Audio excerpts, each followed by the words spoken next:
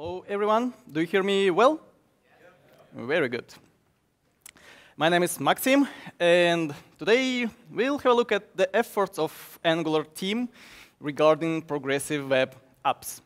This is the title of uh, the session, how it was when I submitted it to JS Heroes conference some time ago.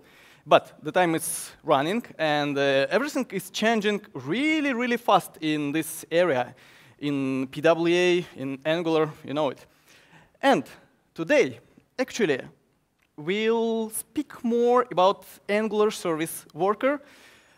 What happened with Mobile Toolkit, you will know it on the last slide. Um, OK, so first I want to ask you, who are Angular developers? Nice, at least one third. Uh, who has some experience with Angular 2, 4, all that stuff, new? Amazing. I think uh, more hands than when I asked about Angular.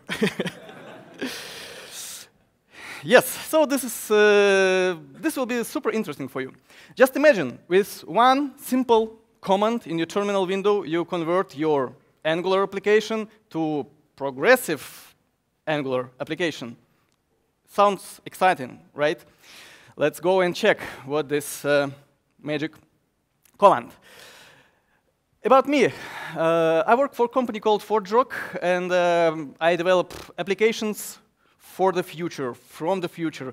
This is why I enjoy to use all the latest technologies, frameworks, and PWA works fine for me. I'm Google Developer Expert in Angular, and I run uh, local meetups in Oslo, where I live, uh, about Angular, PWA, a couple of others. And I run a couple of conferences. Today I want to focus on Mobile Era. If someone heard about Mobile Era, we'll fix this.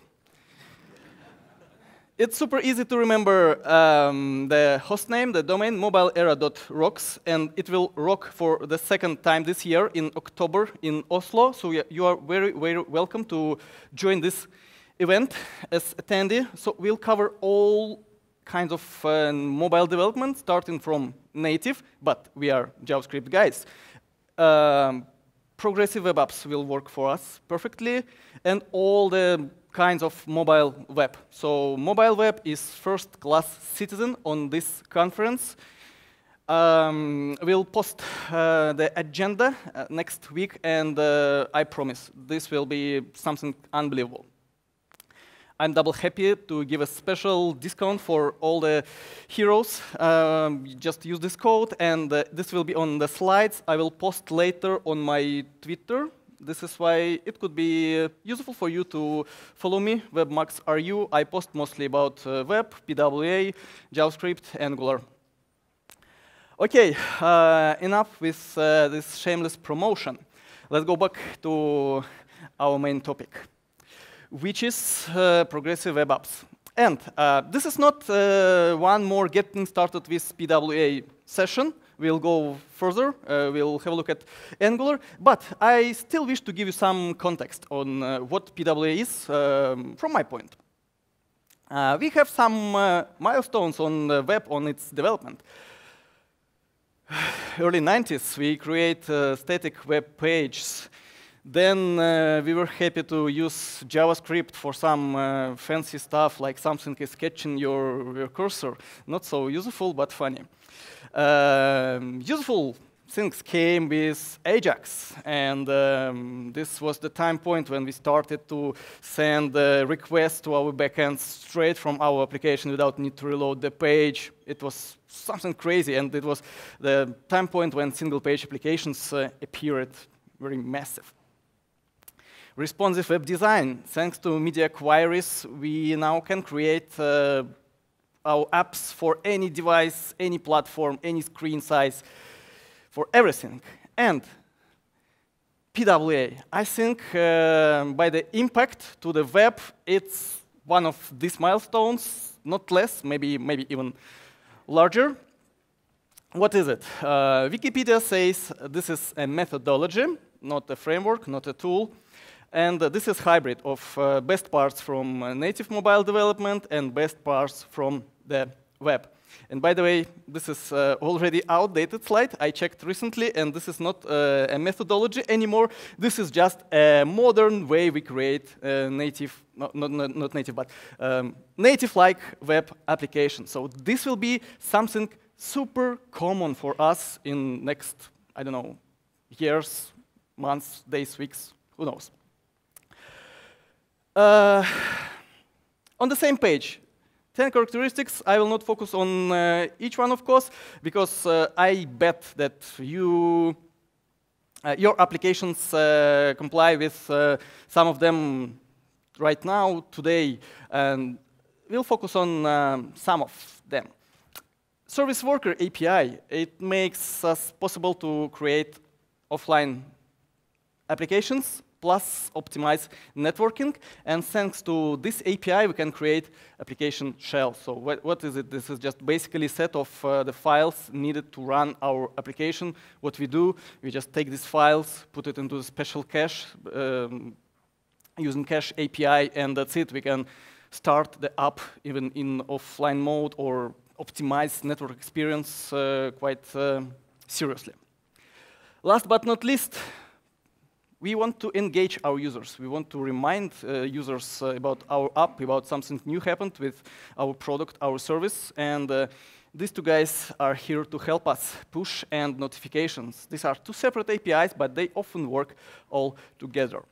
Um, you can go and um, code your service worker manually, absolutely no problem. Um, all the APIs are for you, and uh, not all of them are bound specifically to PWA. These are just modern web APIs. But instead of going to create our service worker manually, let's just uh, try to have some tooling to help us. And yeah, forgot to mention that uh, as truly asynchronous concept, uh, everything in PWA is based on promises. All these APIs are only asynchronous. So this puts some limitations, but we are totally fine with this modern way we build our apps. Yes, so let's go back to Angular, finally. Um, if you go to NPM and to Angular alias, you will find two packages there. First one is service worker. Probably yesterday it was uh, bumped to beta 15, just to update uh, core Angular versions, nothing serious with this update, and app shell. Uh, and by app shell, uh, Angular team means server-side rendered one. And um, so this is not regular app shell, this is a cool app shell, advanced app shell, super, super app shell. Anyway, this one is hopelessly outdated, and uh, I believe uh, it will be removed in favor of new version. We use um, Angular Universal to server-side render our templates, uh, our applications, and we'll uh, dedicate a slide a bit later to this. So let's focus on the first one, service worker. Let's go explore it. In our case, this will be not regular service worker, but Angular service worker from the title of our session, or in short, this called NGSW. Good. If we go to explore this package, there will be four main parts. First, um, bundle. It's the service worker itself. This is something we plug into our application. So this is just uh, some set of uh, JavaScript files, like regular one, minimized one, Okay, we just copy it to our folder, uh, to our uh, output folder, we register it, and we are go. Next, build set of plugins for uh, build systems. Now these are Gulp and Webpack to automate the steps we just mentioned before, like copying, like registering, and a couple more interesting things. Next, companion, just tiny Angular module plus Angular class to help us to communicate, to organize communication between Angular service worker and our app. We'll see why it could be really useful.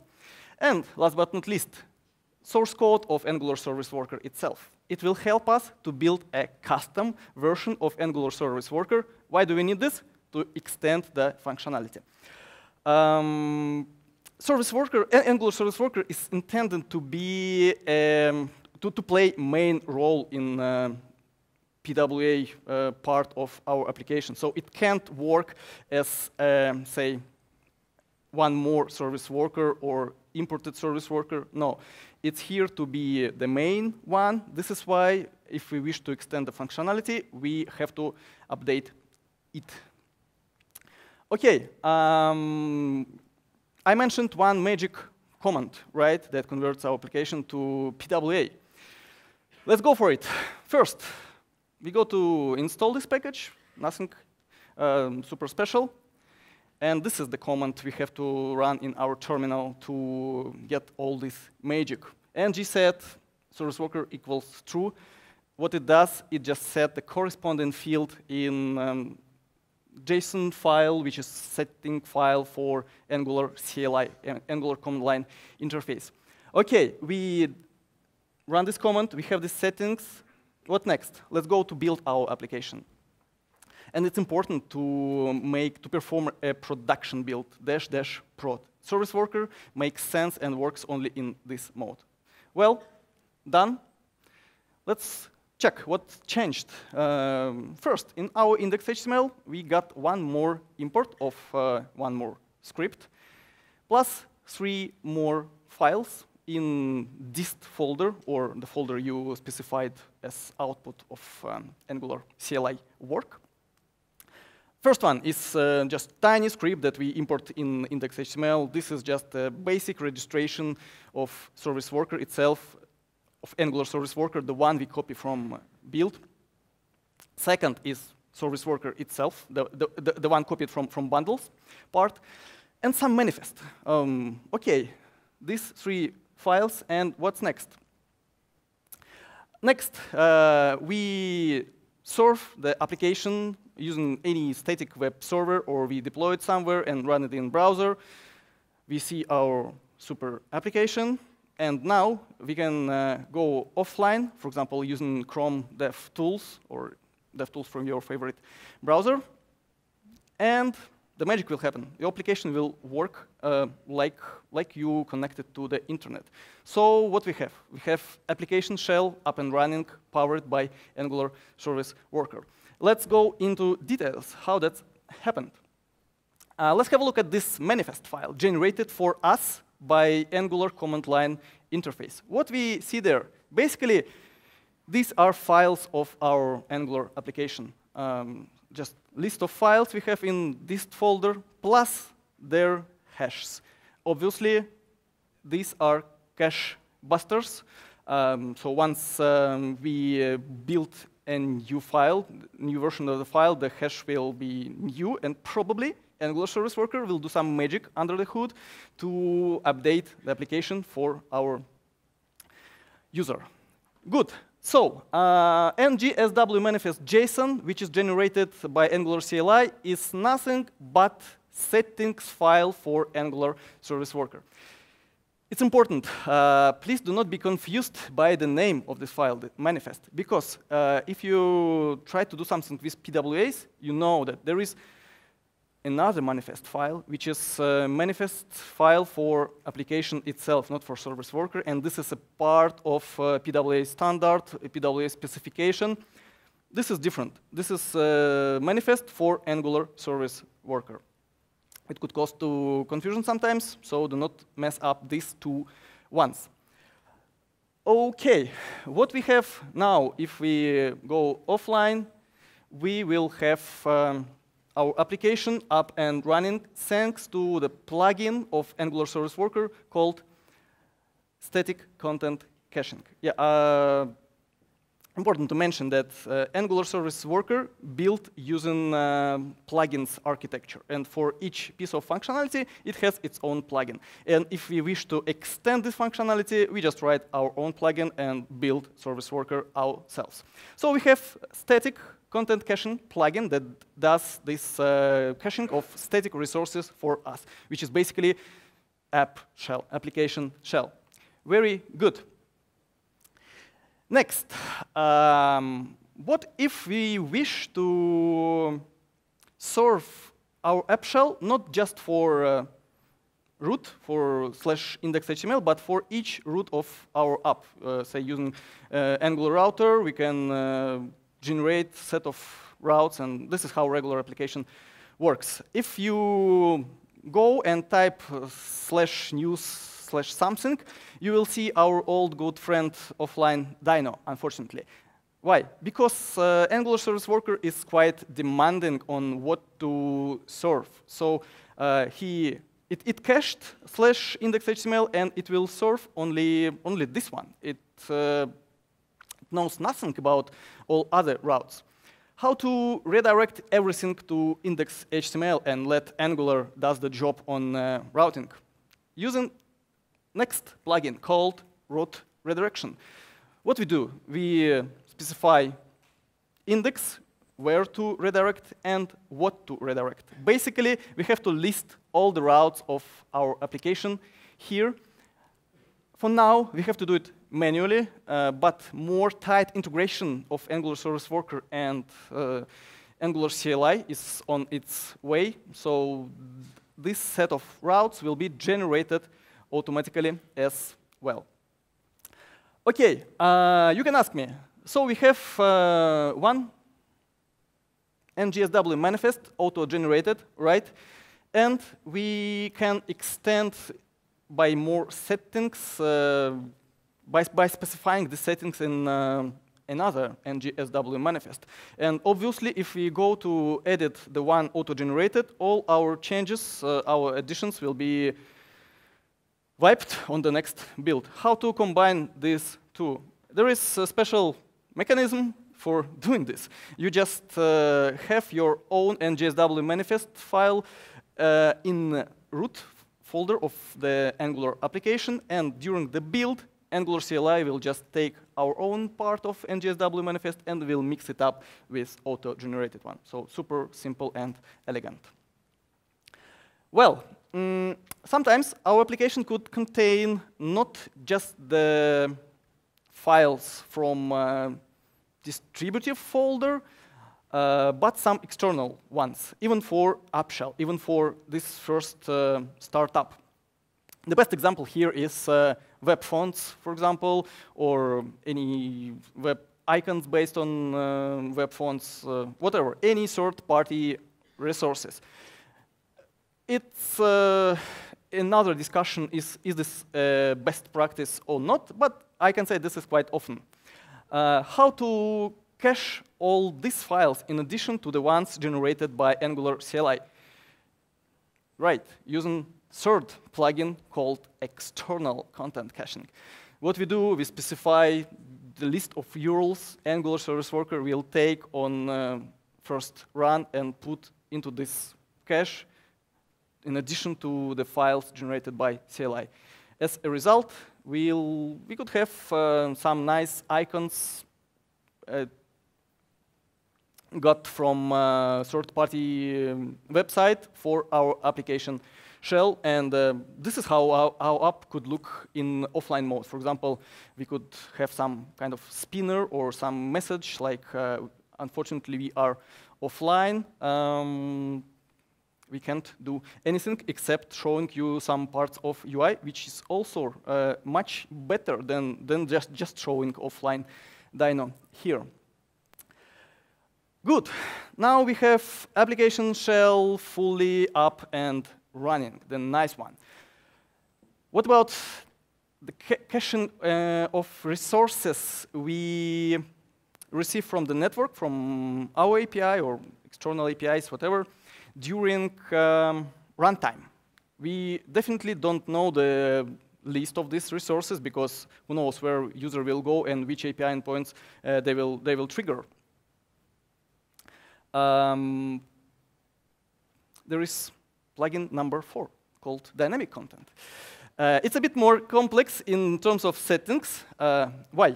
Uh, because it's super, super flexible.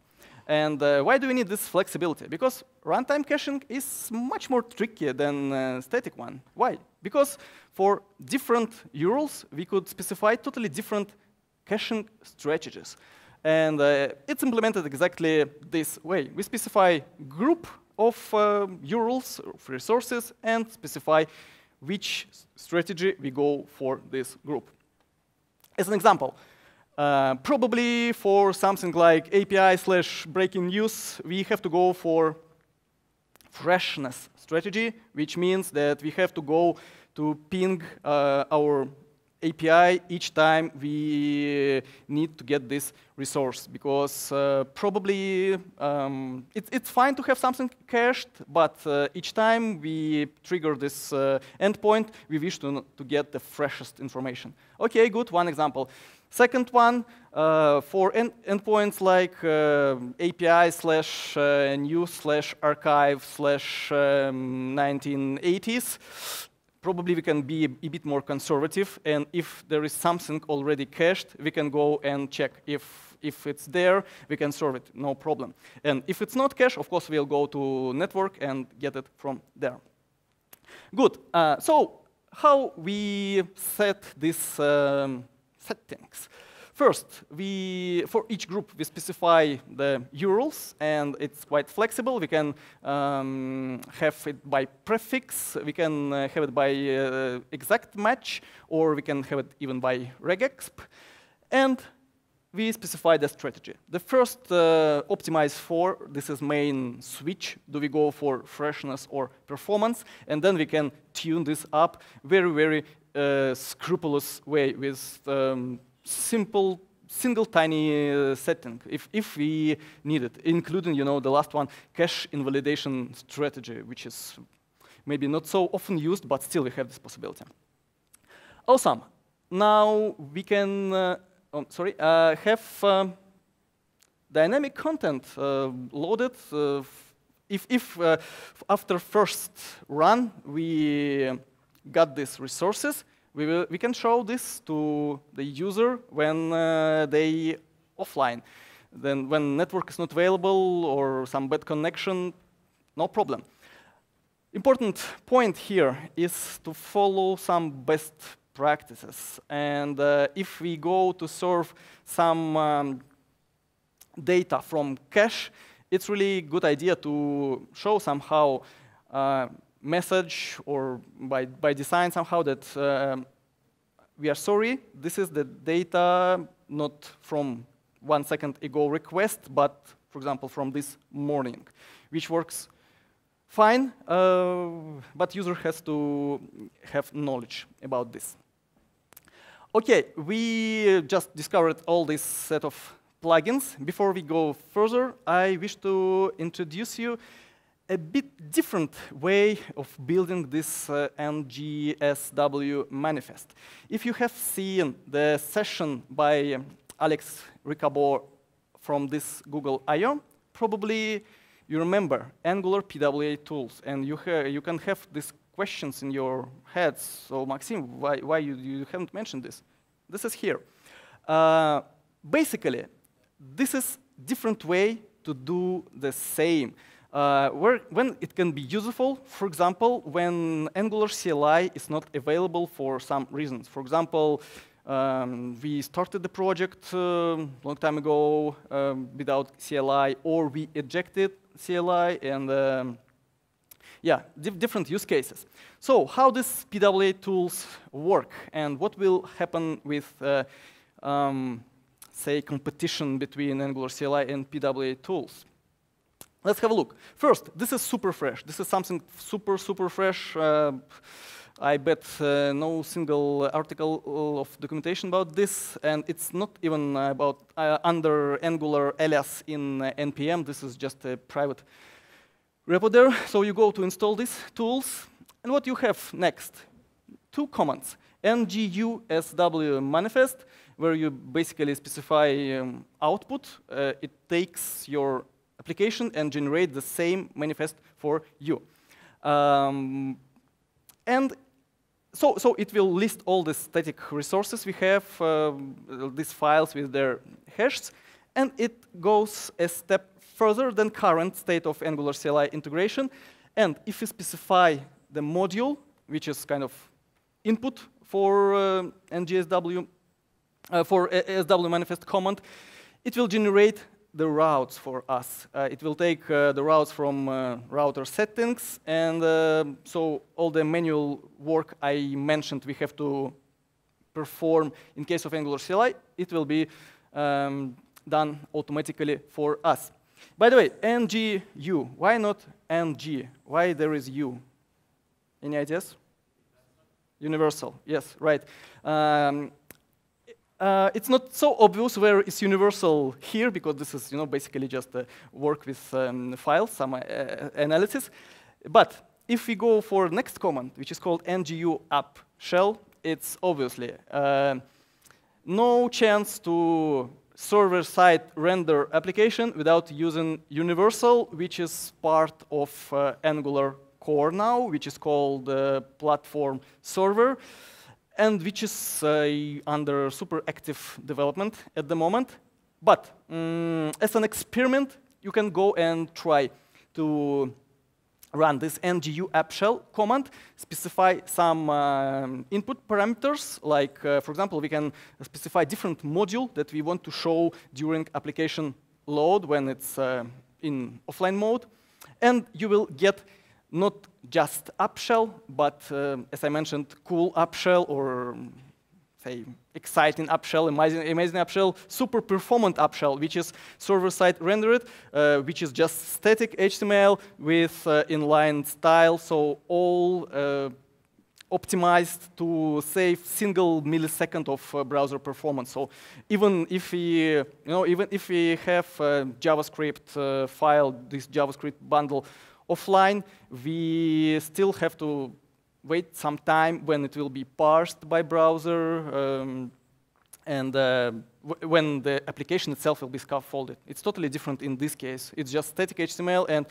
before uh, actual application will be loaded, we, we already can have something really, really meaningful for uh, our users.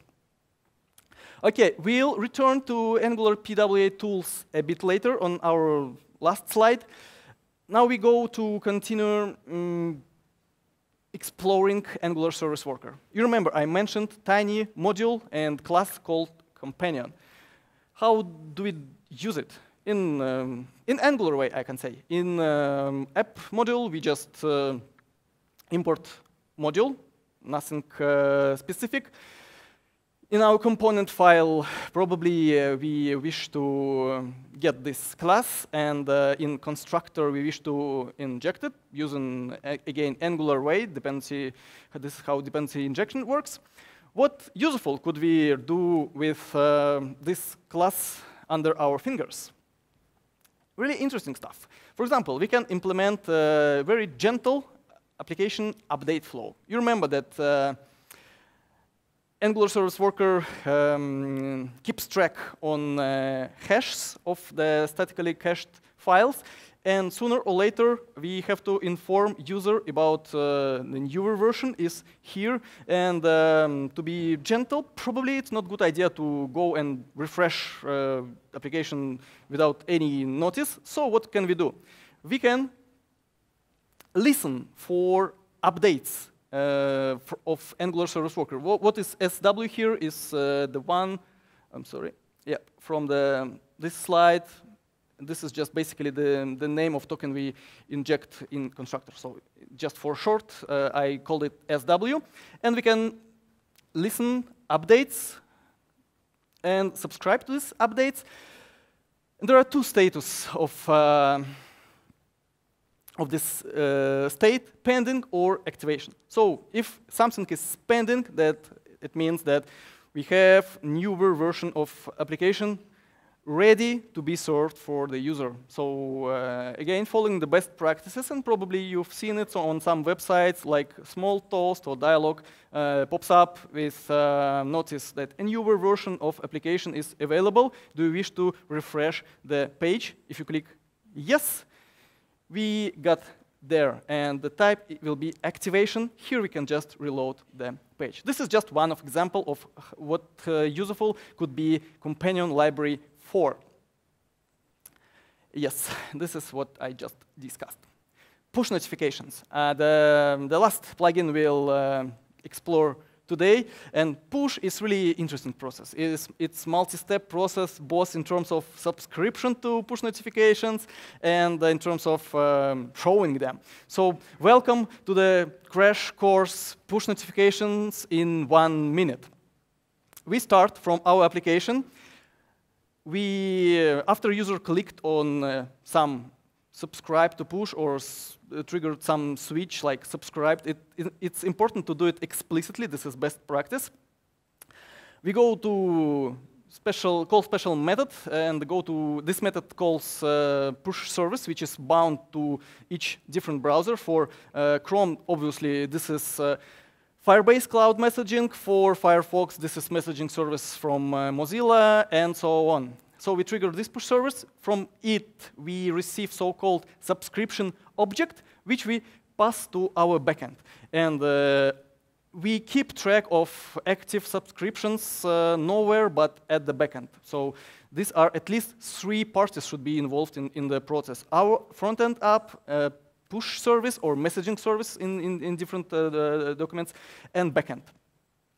Yes, we subscribed. Next, let's uh, send a notification. Again, everything starts from our backend. It, we, when uh, we decide it's time to say, say to user that new message uh, came to their inbox. Okay, good. Backend triggers the same push service.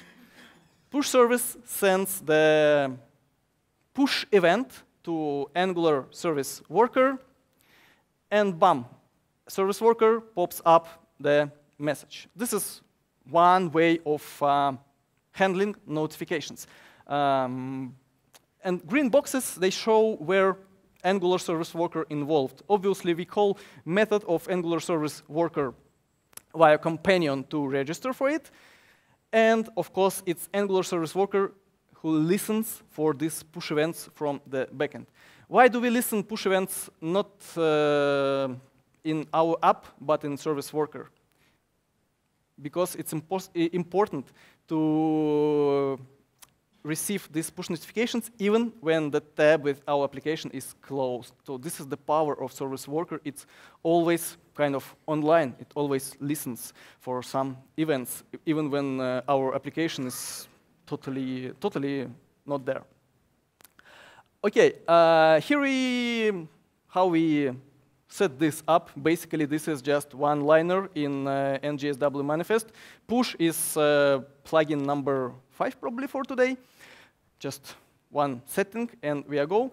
Obviously, uh, this is um, to say uh, to Angular Service Worker to listen the events. And to subscribe, we go to our old good friend companion. And um, using the absolutely the same mechanism, inject it in constructor, and just uh, using special method of it called register for push, we pass server key. Um, where we get this key, you can ask, can catch me later. As I told, push is really, really interesting topic. It deserves separate session. Okay. Um, I mentioned that uh, we can handle this push events from our backend, from push service differently.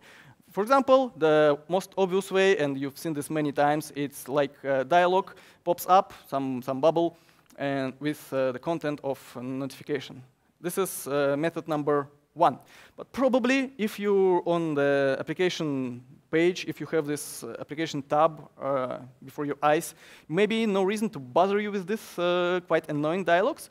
So we can just subscribe for these events, push events, in straight in our app using our service worker companion again. And uh, we are free to implement any kind of logic here. For example, we can uh, update number of uh, unread messages on the badge uh, over, um, say, messages icon. Um, you, you, you, know how it looks. It's uh, quite a common UI interface um, element.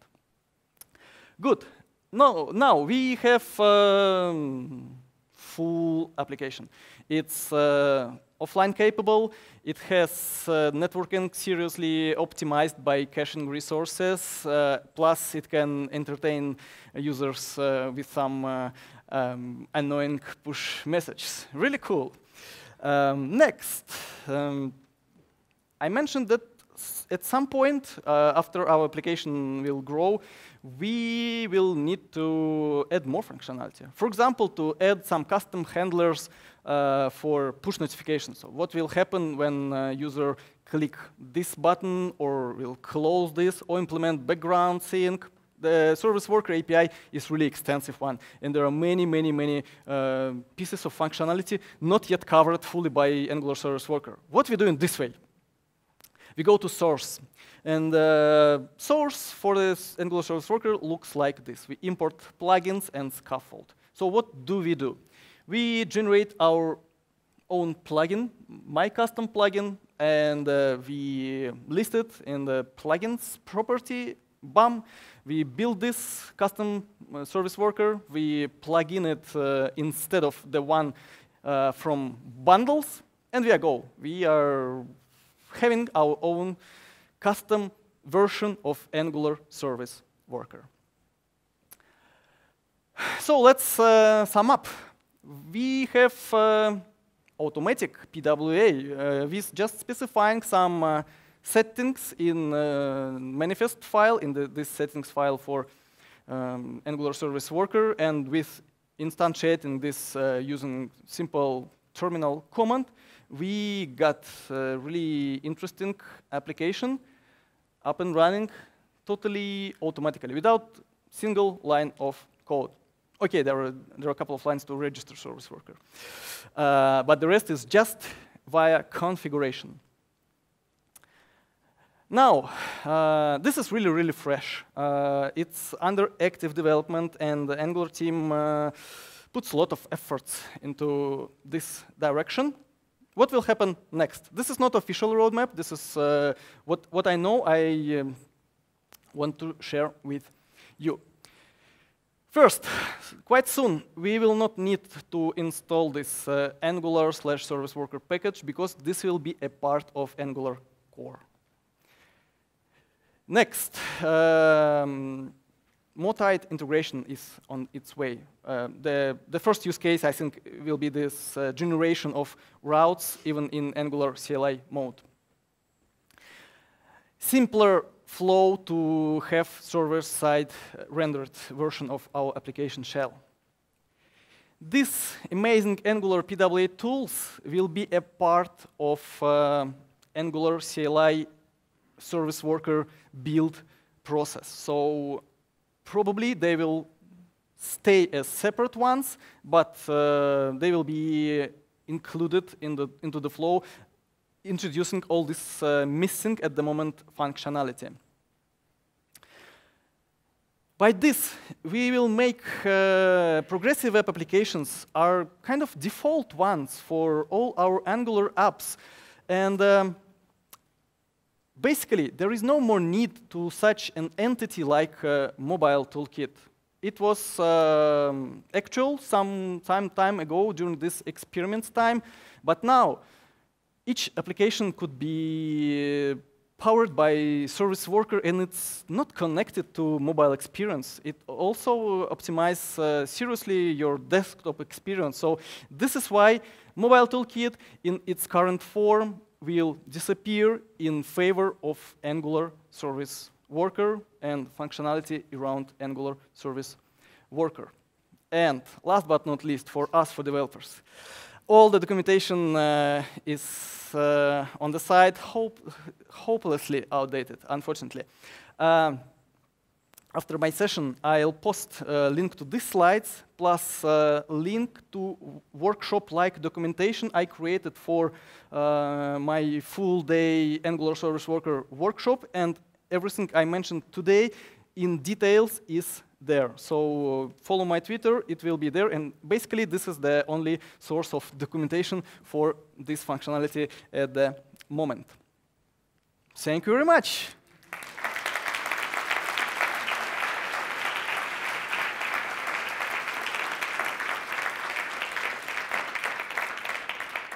multimask mult, right? Thank you. Uh, I believe um, you can ask me questions, and I'll go through these questions. Uh, Yes, let's let's pick uh, three questions now, Ah, and for the other we have ones, time, right? yeah, with, for two more minutes we can we can do it, and for the others you have a chance to reply on the Slack channel. Yeah, yeah, I'll be around, so you can catch me later. But l- okay, let's take some questions that could be interesting for most of uh, audience. Uh, don't you think that Angular PWA is hard to set up uh, for beginners? Yes, without documentation, it's sometimes hard to set up. Uh, but um, once uh, we'll have this, um, just single command, just some basic uh, configuration in JSON file, and we are go. Important to mention that uh, Angular Service Worker is far not the only way to generate PWA experience for your Angular app. Angular app, this is just basic JavaScript application, and you, you are free to choose any um, existing PWA library. So uh, I encourage you to use Workbox, for example, which was introduced this Google I/O and which is uh, logical development of uh, very, very famous SW precache library. So li uh, Angular works fine with this option as well.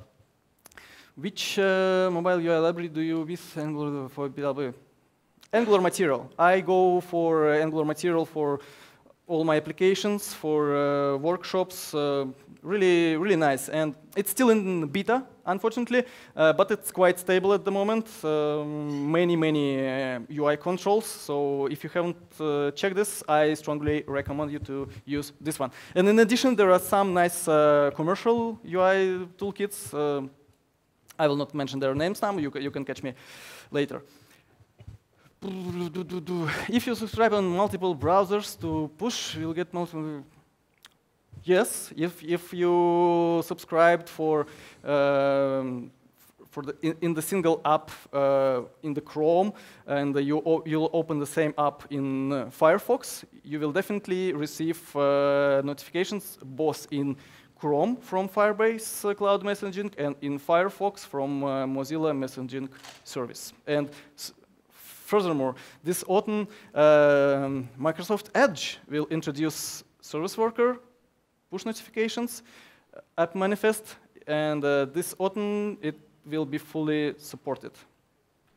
Uh, so there were three questions. Yes, I, I think we have to, to stop here. But yeah, uh, uh, there there are a lot of uh, answers that have been given back on the on the Slack channel. So please be patient until they will be answered there. Last piece of information for me, uh, fr from me. Uh, just a week ago, I organized a dedicated progressive web applications Slack team. It's just one uh, week old, but there are already 200 plus developers, uh, representatives from all the main browsers, from all the main uh, frameworks, from Angular, from Workbox, uh, from uh, large and small companies. You are welcome to join. If you're interested in PWA, this will be really cool source of uh, experience, documentation, everything from you. I'll post link on my Twitter. Awesome. Now, thank you very much. Thank you.